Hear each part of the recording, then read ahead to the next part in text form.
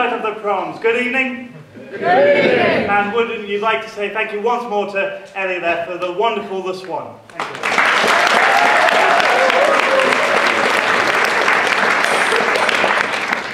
you. So we'd like to bring you uh, some lovely English music. Uh, we hope you're feeling patriotic. Are you feeling patriotic today? Yes. Obviously you didn't watch the England-Wales game.